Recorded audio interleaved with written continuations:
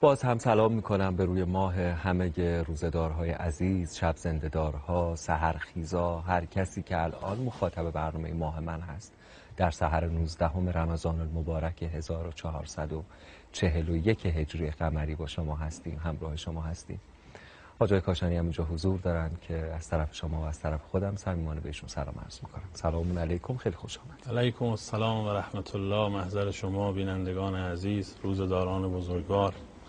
محبان امیر المومنین صلوات الله علیه در همه نقاط عالم عرض سلام و ادب و احترام دارم. امیدوارم انشالله در صحت و عافیت باشن. به دست با برکت امام زمان ارواحنا فدا که مهماندار ماه رمضان است. به امر الهی انشاءالله مقدراتی بیش از تصور و فوق تصورشون انشاءالله خیر. خدا براشون رقم بزنه. انشاءالله. و هم شهادت عزیزانی که تازه از دست دادیم و تسلیت عرض می‌کنم و هم شهادت امیر المومنین صلوات الله علیه رو به حضرت بقیت الله ارواح فدا و همه مردم عزیز تسلیت عرض می‌کنم. سلامت باشید. خیلی خوب. امشب اتفاق خوبی هم قرار بیفته و اون همین که از اثر تازه حسن آقای روح الامین این هنرمند بی بدیل معاصر اگرچه جوان ولی احساس می‌کنم که تمام کارهاشون مستند. و بسیار دلانگیز خب با آثار ایشون دوستان عزیزمون و با نقاشی های ایشون آشنایی دارن. امشب برای اولین بار در برنامه ماه من از این آخرین اثرشون که یک نقاشی بسیار بی‌نظیر از حضرت علی علیه السلام هست رو دارید می‌بینید. بله دوستانمون نشون دادن. این شبگرد کوچه های کوفه که به صورت ناشناس می‌رفتند و برای فقرا و ایتام امشب. ایتام بیشتر از هر کسی احساس می‌کنن جای خالی امیرالمؤمنین رو. من تشکر می‌کنم از حسن آقای روح الامین که برنامه ما رو قابل دونستن و این کار رو تقدیم مخاطبان عزیزمون کردن. هم حسن آقا هم محمد آقای عزیز که لوگو برنامه و نشان و نماد برنامه ماه من علی رو در این شبها به ما هدیه دادن. انشالله که همشون معجور باشن و انشالله خدا به همشون اجر رو خیر عنایت بکنه. این هنرمندان بی بدیل که انشالله قلمشون و آثارشون مانا باشه. این تصویر رو می‌بینید؟ یاد چی میفته؟ واقعیتش موضوع بحث امشب. ما قربت امیرالمومنینه و قربت از این تصویر پیداست کاملا. امیرالمومنین صلوات الله علیه منتظر تشکر کسی نبود هیچ وقت. دشنام میشنید و کنتل المؤمنین ابا رحیما. پدر مهربانی بود که دشنام میشنید و ولی مردم رو رها نمی‌کرد. صلوات الله صلوات الله خدا ان به آقای روح عزیزم برکت بده و انشالله از سر سفره اهل بیت انشالله جای دیگه نبرنش. انشالله گفت دلتنگ توییم. یا علی هر شب و روز. آنگونه که در روز پدر طفل یتیم. همینقدر انشالله امشب اون پدری بکنن و نگاهمون بکنن به نظرم برای تمام عمرمون کفایت می‌کنه. خیلی خوب بحثمون رو شروع می‌کنیم. امشب دعای سهر پخش نخواهد شد به خاطر فشردگی برنامهمون و مراسم احیا که مقداری طول کشید اما دیرتر خدمتون رسیدیم. من همینجا هم از محضر مخاطبان عزیزمون هم از حجای کاشانی کسب اجازه می‌کنم که انشالله دقایقی که به اذان صبح مونده رو هر چند دقیقه اعلام بکنم خدمت دوستان که بتونن برنامه ریزی بکنن. بفرمایید. بسم الله الرحمن الرحیم. الحمدلله انشالله عزیزانمون توبه استغفار ذکر نماز قرآن کریم رو بر سرشون گذاشتن اسامی متبرک اهل بیت رو به زبانشون جاری کردن عبادت کردن. خدا انشالله از همه قبول کنه. یکی از کارهای خوبی هم که شب قدر میشه انجام داد بحث علمی است. و اون بحثی که هم قرآنی باشه هم ما یه قدری بیشتر به این سمت فکر کنیم که چه شد که اون امیر المؤمنین صلوات الله و سلامه علیه خسته شد از دست مردم. فهمش واقعا مشکله. خدا شاهده که گفتن خیلی از حرفا کمر شکنه و من یک در هزاری که بلدم و نمیگم. حالا آنقدر که بلد نیستم که دریا دریاست. و اصلا خیلی هاش رو نمیشه به زبان آورد. بعضی هاش رو فقط باید خود انسان کتاب ببینه بخونه چون قابل بیان نیست. و چه شد که اون شخصیت عظیم و شعن راحت شد از دست مردم؟ برای اینکه این جا بیفته ان الله آیه مبارکه 142 اعراف رو در محضرش هستیم. بسم الله الرحمن الرحیم. و واعدنا موسی ثلاثین لیله. در میعاد خداوند سی روز با موسی قراری داشت. و اتممناها به عشر ده روز این اضافه شد. فتم میقات ربه اربعین لیله. چهل روز که شد ده روز فقط تأخیر تو ذهن مردم که رخ داد. قبل از اونم حضرت موسی صلوات الله علیه به حضرت هارون علی نبی و علیه و علیه السلام فرمود که اینجا قرآن میفرماد و قال موسی لاخیه هارون اخلفنی ای هارون خلیفه من باش در قومم فی قومی و اصلح ولا تتبع سبیل المفسدین اهل اصلاح باش. این آیه نازل شد که خبر به ما بده یک روزی دو پیغمبر دو برادر دو معصوم موسی و هارون. اینها در قوم بنی اسرائیل بودند و با هم هم آغاز کردند. خداوند این دو رو با هم فرستاد برای هدایت قوم. یعنی خود حضرت موسی و خدا عرض خدای من تنهایی نمیشه وزیر می‌خوام دیگه حضرت حق فرمود دوتایی بروید. اذهبا الى فرعون انه تقا و قولا له. یعنی شما دوتا. همه می‌دونستند بحثمون به دیشبم قدری ربط داره. همه قوم بنی اسرائیل جایگاه هارون را می‌دانستند جهلی در کار نبود ابهام در لفظی نبود. حضرت موسی چیزی نفرموده بود. مردم بگن اه آقا این و این روایت رو فرموده بودی؟ یا موسی دیگه ما هارون را حلوا حلوان که رو سرمون میگذاشتیم. نه می‌دونستن. یقین داشتن. همونطور که خود حضرت موسی یقین داشتن. منتها چون موسی رهبر بود و حضرت هارون هم پشت سر ایشون قاعدتا به وسی و خلیفه راحت تر میشه ظلم کرد تا به پیغمبر اصلی. بله. راحت تر جایگاه معنویش رو کمتر می‌شناسن. لذا یه اتفاق عجیبی افتاد. با اینکه حضرت هارون پیغمبر بود یه شخصی به اسم سامری نیامد. آقا مثلا فرض کنید که بگه من پول میدم شما برید با هارون درگیر بشید. نه.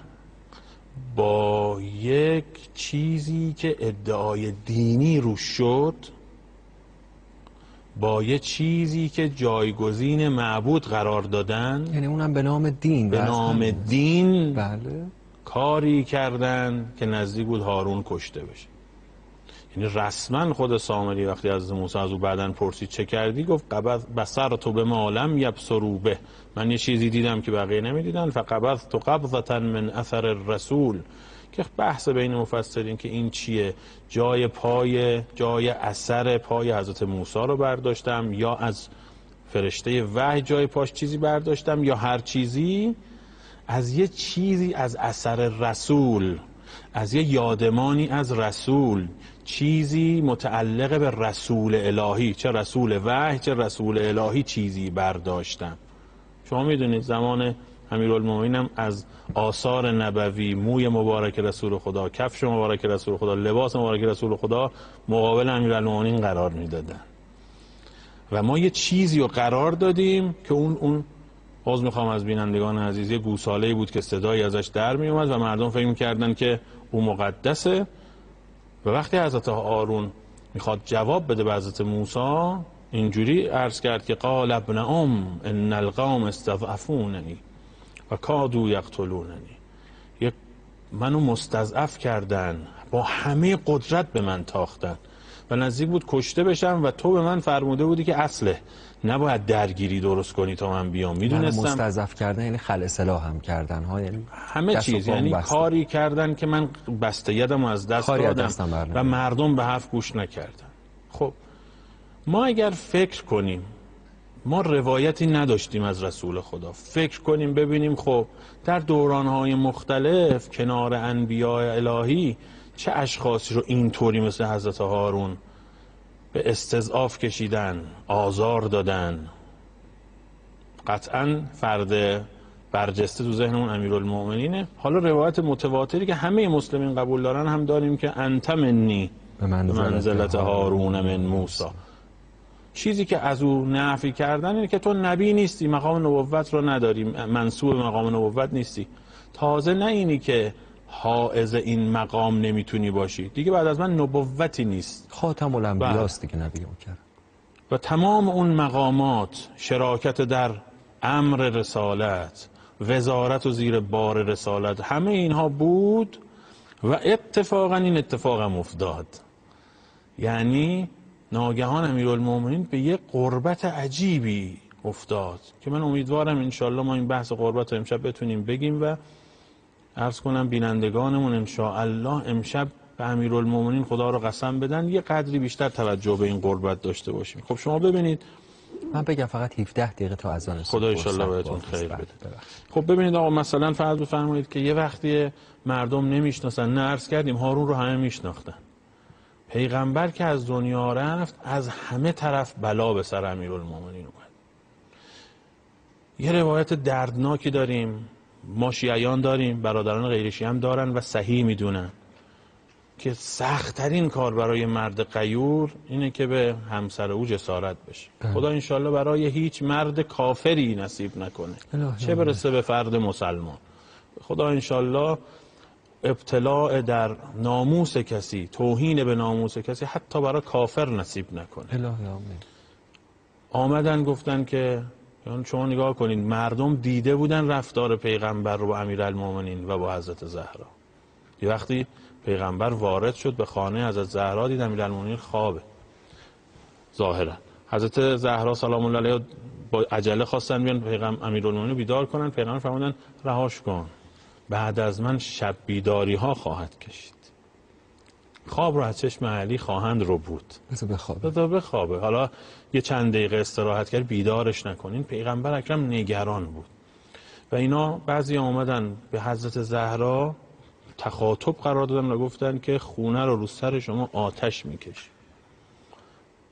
همینطور که اینجا ده روز گذشت شاید همین ده روز و اینقدر روزا نه 400 سال 40 سال 30 سال بعد از رسول خدا. و کار به جای رسید که من نمی‌تونم بعضی کلمات رو بگم از اینکه حالم منقلب میشه. که امیرالمومنین رو برید روایتی که از معاویه نقل شده که توصیف کرد قهرمان اسلام پهلوان اسلام علمدار پرچمدار فاتح بدر و حنین. همه این زحمات به دوش چه کسی بود؟ لیلت المبید.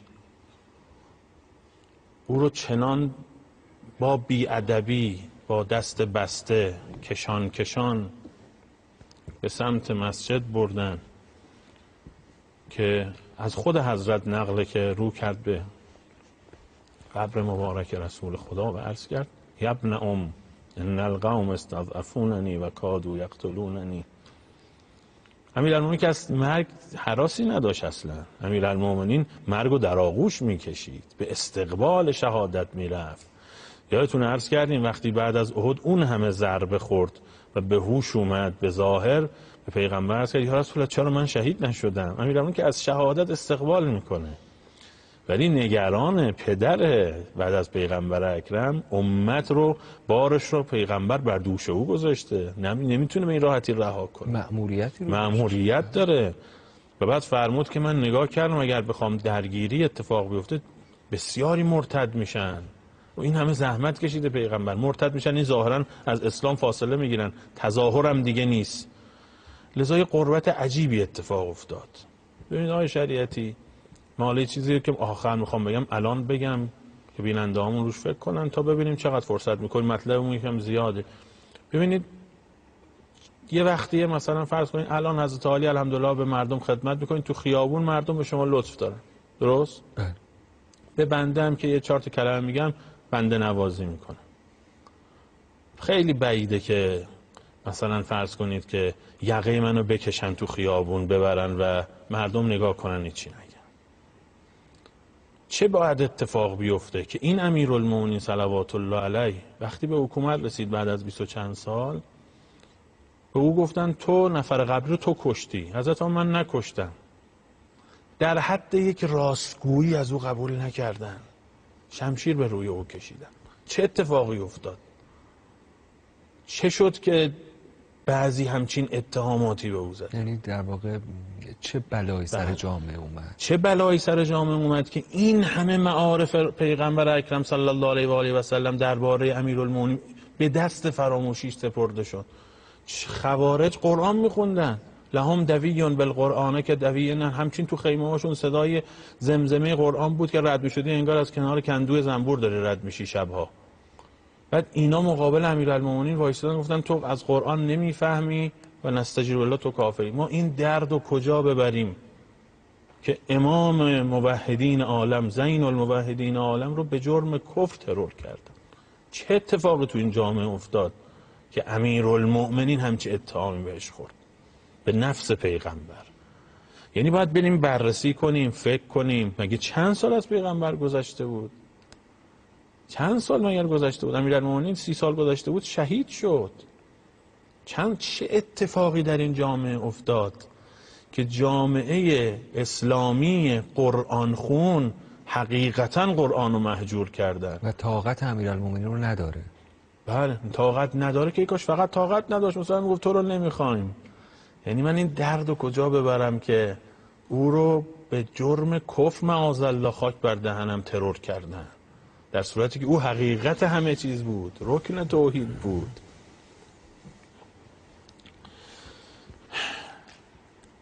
بعضیا توی این ایام البته سعی کردن یه قدر این فضا رو بشکنن. در رأسشون صدیقه طاهره سلام الله واقعیتش من به شما عرض کنم بنده آقا امشب مشکی پوشیدم ولی من روز شهادت امیرالمومنین رو سی سال پیش از این می‌دونم. در واقع مردم عزیزمون باید بدونن امیرالمومنین امشب ضربت زدن ولی سی سال پیش از این امیرالمومنین صلوات الله علیه زجرکش کردن. یعنی بعد از رحلت پیغمبر. بله. کاری کردن که او زنده بود ولی بلایی به سر آوردن که از زج کش کردن بدتر بود. یکی از اصحاب پیغمبر میگه که من خیلی تعجب می‌کردم. فاطمه زهرا سلام الله علیها همسر امیرالمومنینه تحت قیمومیت حضرته. چرا تو اون ماجرای بعد از پیغمبر اکرم خیلی حضرت زهرا نمود داره؟ حتی ارز کردم آمدن و حضرت زهرا گفتن که خونه رو سر شما آتیش می‌زنی. یعنی حضرت زهرا کن رهبر جریان می‌دیدن. خطاب روایات شیعیان و غیر شیعیان نگاه کنین اومدن حضرت زهرا رو تهدید کردن. خونه رو سر شما آتیش می‌زنی. بعد با چه جمله ای آدم آتیش می‌گیره. گفتن برای تقویت دین پدرت. برای تقویت قرآن. بر تقویت اسلام. قرآن رو آتش می‌کشیم برای تقویت اسلام. و بعد یکی از اصحاب میگه من رفتم تعجب کردم. گفتم چرا از زهرا اینقدر شور و هیجان داره؟ چرا ایشونی که خطبه می‌خونه ایشونی که اتاب می‌کنه ایشونی که با زنان انصار صحبت می‌کنه با اونها توبیخ می‌کنه. ایشونه که با بعضیا قهر کرد ایشونه که اجازه نداد بعضیا در تشییع او شرکت نکنن. ایشونه که فرمود باید تشییع من شبانه باشه. علی جان هر کسی اجازه نمیدی شرکت کنه. تعجب میگه کردن. حتی بعضی می‌خواستن بیان حضرت زهرا ملاقات کنن ایشون راه نداد رفتن سراغ امیرالمومنین. میان تعجب کردن آخه چطور حضرت زهرا انگار آتشش تندتره؟ چه رهبر این مبارزه؟ رهبر این جریانه؟ چطور ایشون جلو افتاده؟ میگه رفتم محضرشون. کجا؟ سر قبر حمزه سید الشهدا. دیدم حضرت یه جوری گریه می‌کنه که من داشت بند جگرم پاره می‌شد. صبر کردم یه خورده ایشون گریه کردن بعد شروع کردن نفس نفس زدن. من معذورم از اینکه حال حضرت زهرا رو توصیف کنم. که در این شرایط چگونه بوده حضرت. بالاخره اون وضعی که حضرت داشت مسافت از خانه مبارکشون تا قبر حمزه سید الشهدا. بعد میگه خود حضرت آرام که شد عرض کردم که یا سیدت النساء ای سرور زنان چرا شما اینطور گریه می‌کنی؟ قلب ما پاره شد. ایشون سنش هم کم بوده این صحابی. چی شد که شما ایشون فرمود که پدرم از دنیا رفت و وسیع او تنها شده من میگه گفتم که خب آقا خود علی ابن ابی طالب انقدر مثل شما شور و هیجان نداره. این روایت در عالم هیچ کس مثل حضرت زهرا بهش عمل نکرده. میگه تا من اینو گفتم که چرا شما شما جلو افتادی؟ فرمود که مثل الامام. مثل الکعبه از تعتا ولا تعتی تا من هستم که دورو بگردم اجازه نمیدم. هنوز علی یاور داره. لذا میدان نباید داره چطور علی سلام الله علیه زمان پیغمبر هستیم در جنگ ها اجازه نمی‌داد رسول خدا ورود کنه؟ مثل الامام مثل الکعبه از تعتا ولا تعتی تا من هستم اجازه نمیدم. حضرت زهرا و بعضی ها میسم ها روشید ها اینا اجازه ندادن وگرنه هیچی به ما نرسیده بود. انشالله فرصت که این بعد این بحث ادامه انشالله یعنی بس فردا شب رو هم اشاره راجع به حالا همین موضوع ببینیم صحبت چون ما. مباحثمون زیاد از قبل هم مشخصه. با یه استخاره ببینیم چقدر. توضیحمون میشه. آقا خیلی ازتون ممنون و متشکرم. یه دعا بکنید کوتاه در آستانه اذان صبح به افق تهران و بعد انشالله خداحافظی بکنیم و دیگه تا دقایق دیگه انشالله خدمت دوستانمون خواهیم بود. از امام سجاد یاد می‌گیریم که اینجوری عرض کنیم که خدایا امام زمان ما ارواح نافدار و دعاگوی ما بگردان. الهی آمین. و امسال و سال ظهور حضرتش قرار بده. انشاءالله. هفت دقیقه تا اذان صبح فرصت باقی است و ماه من ادامه خواهد داشت.